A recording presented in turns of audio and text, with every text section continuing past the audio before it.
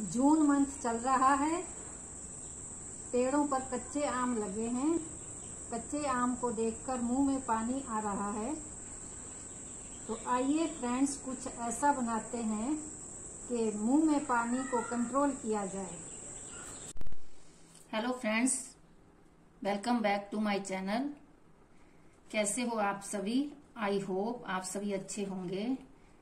तो फ्रेंड्स आजकल मैंगो का सीज़न चल रहा है।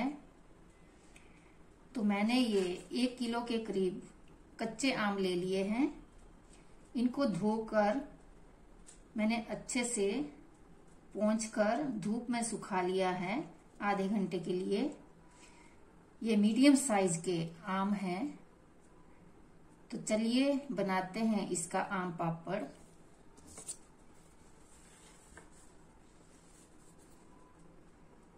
पहले इसको छील लेते हैं।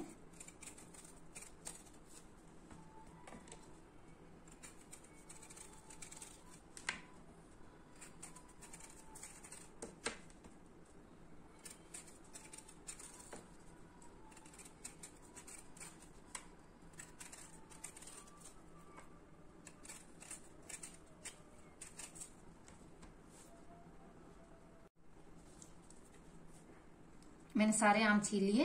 अभी इसका पल्प निकाल लेते हैं। लंबे स्लाइस में। आप कैसे भी लंबा, छोटा कैसे भी काटो। इसकी गुटली को टोटली अलग कर देंगे। कच्चे आम है ये फ्रेंड्स कच्चे आम पापड़ बना रहे हैं हम लोग। इसका टोटली अलग कर देंगे गुटली को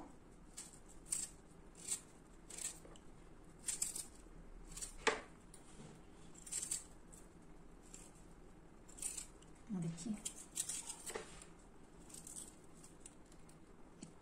गुटली से पूरा पल्प निकाल दिया है हमने। ऐसे। इस तरह हम सारे आम को काट लेते हैं। तो ये मैंने आम को मोटा मोटा काट लिया है। ये देखिए। अब इसको करते हैं बॉयल ये मैंने गैस पे पतीला चढ़ा लिया। इसमें पानी डाल देंगे। इतना पानी एक कप और आधा कप और।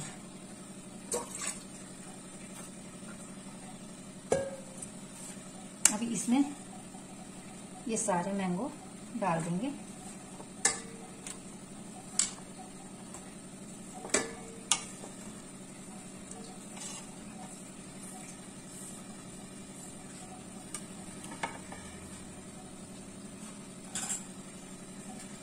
और गैस कर देंगे ऑन।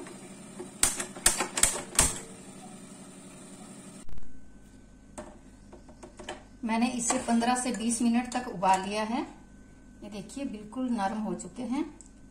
ये देखिए, चम्मच बंधवाने से पल्प बिल्कुल सॉफ्ट हो चुका है। मुझे इसे उबालने में 15 से 20 मिनट लगे।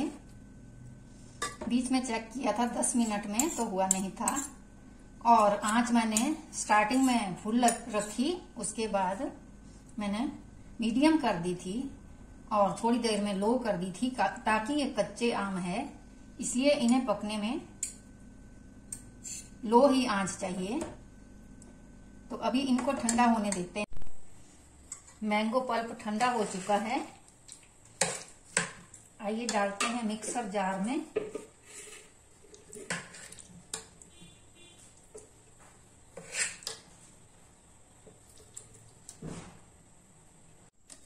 तो मैंने इसे ग्राइंड कर लिया। सारे पल्प को। अभी इसी पतीले में डाल देंगे, जिसमें हमने बॉईल करे थे। सारे पल्प को इसी में डाल देंगे।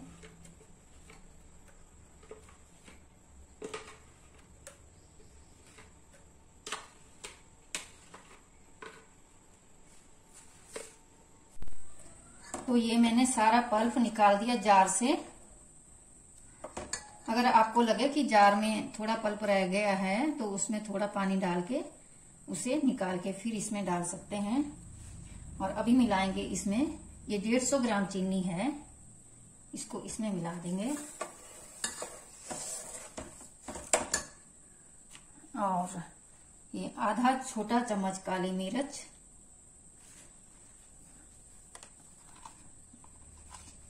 और आधा चम्मच जीरा।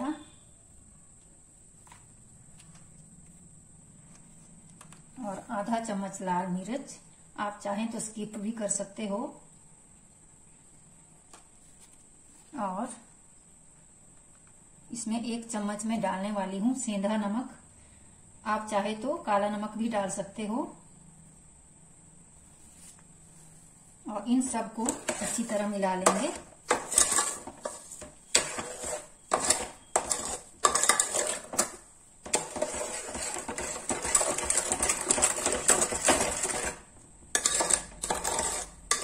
ताकि चीनी इसमें अच्छे से घुल जाए।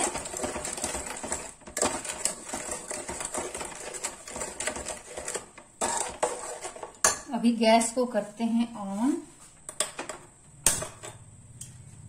और थोड़ी देर चलाते हुए पकाएँगे।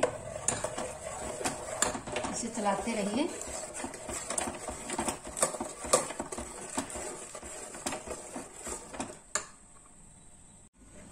तो मैंने इसे स्लो आँच में पाँच मिनट के लिए पकाया है। तो देखिए, इसमें बबल्स आने शुरू हो गए हैं। मीन्स ये पूरी तरह पक चुका है। अभी गैस को कर देते हैं बंद और इसे ठंडा होने देते हैं। तो फ्रेंड्स मैंगो पल्प ठंडा हो चुका है। ये मैंने ट्रे ले ली है। इसमें फॉयल पेपर डाल के ऊपर से घी डाल के इसे ग्रीस कर लिया है। अभी इसको इसमें डाल देते हैं।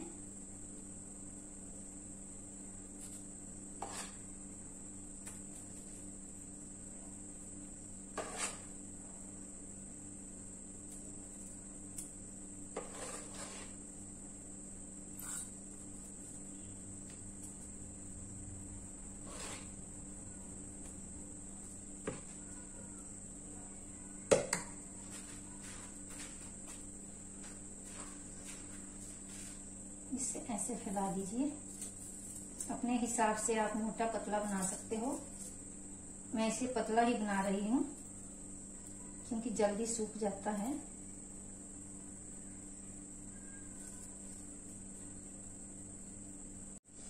तो मैंने इस पल्प को पूरी तरह ट्रे में फैला लिया है। अभी इसको मैं पंखे के नीचे सूखने के लिए रखूँगी।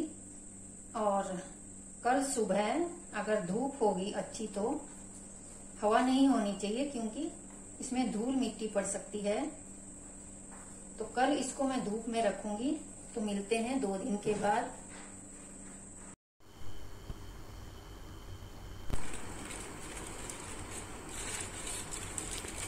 तो दो दिन के बाद ये पूरा पक चुका है। मैंने इसे धूप में ही सुखाया था, क्योंकि हमारे यहाँ धूप अच्छी निकलती है। तो देखिए फॉइल पेपर से इसे आसानी से निकाला जा सकता है। धीरे धीरे प्रेस करके मैं इसे पूरा निकाल दूँगी। मैंने इसे पूरा निकाल दिया।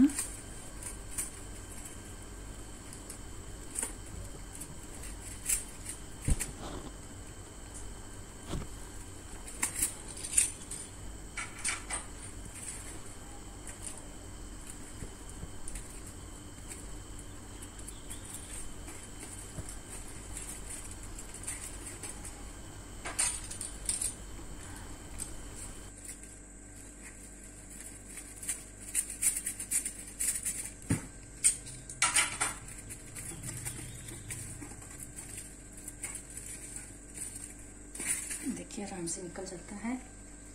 अब इसका एक पीस और काट लेते हैं। लंबे वाला।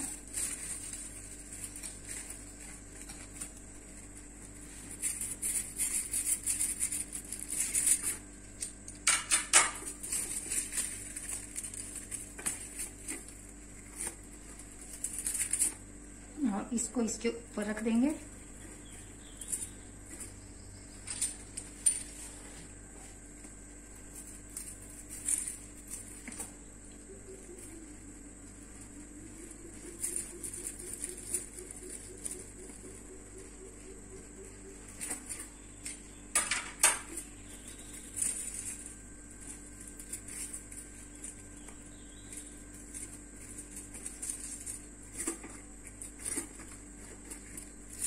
ऐसे ही सारे पीसेस काट के रखते हैं। अभी सर्व करते हैं।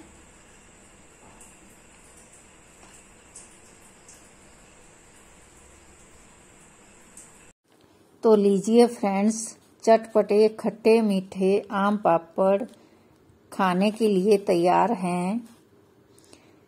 काटते समय थोड़ा अपना ख्याल रखिए, जल्दबाजी ना करें। तो खाइए अपने बच्चों और परिवार के साथ, शेयर कीजिए और अपने अनुभव उमा नेचर ब्यूटी चैनल में कमेंट करके शेयर कीजिए और मेरे चैनल को सब्सक्राइब करना ना भूलें। तो मिलते हैं नेक्स्ट वीडियो में। Bye bye. Thank you for watching my video.